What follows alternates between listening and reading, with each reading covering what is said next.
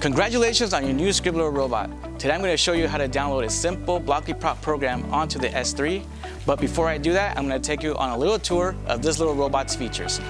The Scribbler is equipped with some useful sensors, one of them being an IR object detection sensor that can be used to detect objects and navigate around them. It also has a light following sensor that can detect light, which makes it good for your light following projects. On the bottom of the Scribbler, there is a line following sensor for your line following and navigation projects. Towards the rear of the Scribbler, there are three indicator LEDs that can be used to provide you with visual feedback. For example, when one of the sensors detects an object on the left or the right of the robot. The speaker on the top is great for adding sound to your projects.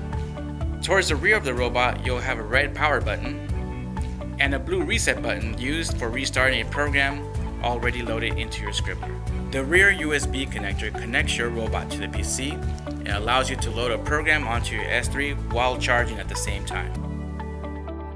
The first thing you want to do is go to this link and register for Blockly Prop if you haven't done so already. Connect the supplied USB cable from your PC into the Scribbler USB port.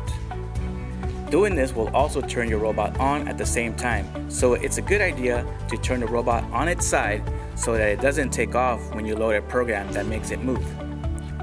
And if you're not ready to load a program, you can simply turn the Scribbler off by pressing the red power button.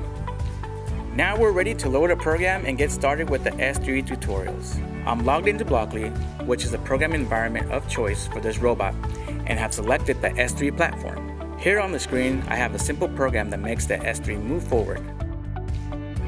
Check the upper right hand side of the software to make sure you see your robot's COM port, and then select the button with the downward arrow and the white line underneath it.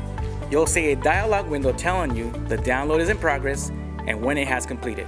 Now you're ready to tackle the S3 tutorials found at the link below. And that's it, you've loaded your first Blockly Prop program onto the S3. For more questions, please call our tech support line, or you can shoot us an email at support at parallax.com.